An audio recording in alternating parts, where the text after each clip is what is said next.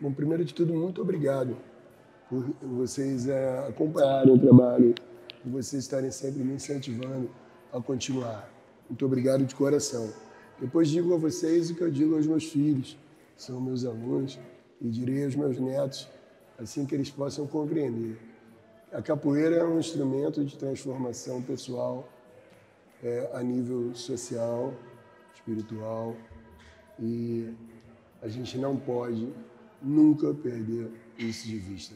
É, que a capoeira é muito maior do que qualquer capoeirista, do que qualquer mestre.